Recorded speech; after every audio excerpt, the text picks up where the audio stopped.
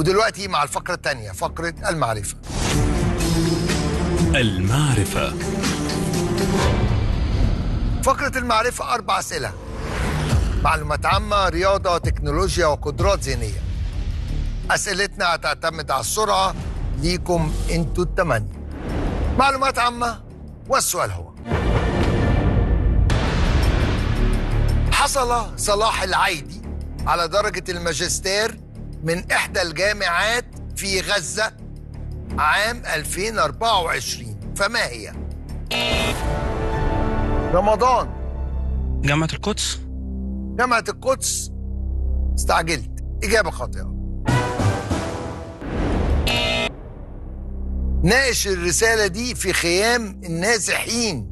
رسالة ماجستير في إدارة الأعمال وأهدى الرسالة دي لأرواح الشهداء والأسرى. أيمن بحر إجابتك. جامعة الخليل؟ جامعة الخليل إجابة خاطئة. في حد عنده إجابة تانية؟ الأزهر؟ أيوة. شفت يا يا. رمضان؟ مستعجل ليه؟ هي فعلا جامعة الأزهر. عادي عادي. معلش. حدث بعنوان تحدي للشعب الذي لا يعرف المستحيل. كلنا نحيي صلاح العيدي وشعب فلسطين. العظيم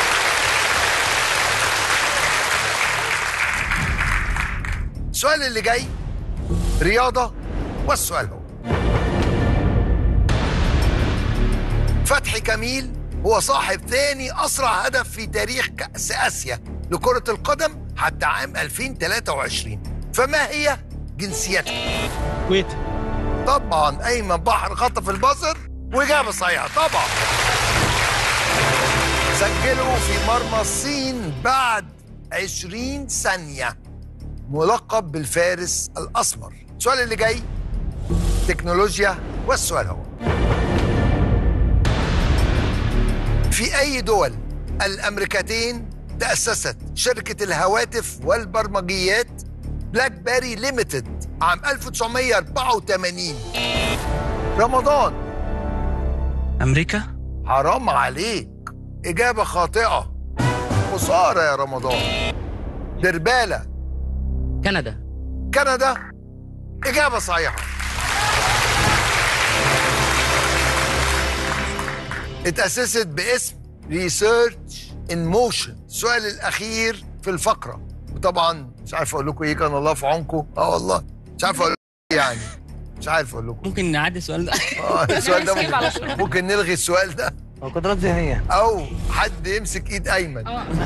قدرات ذهنية والسؤال هو. المسألة الآتية 13 في 15 زائد 309 يساوي كام؟ إبراشي إجابتك. 494 يا عم يا عم لا. محمود الإبراشي إجابة خاطئة.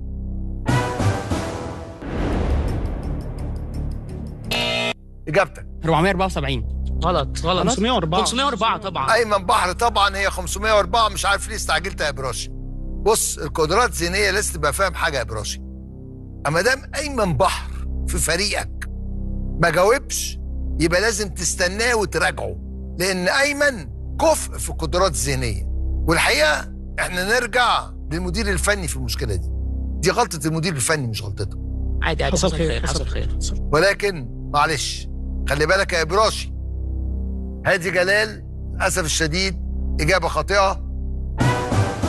وزي ما أيمن قال 504 سؤال كان ممكن يتحل فعلا. النتيجة في نهاية الفقرة 100 رمسيس 40 سقار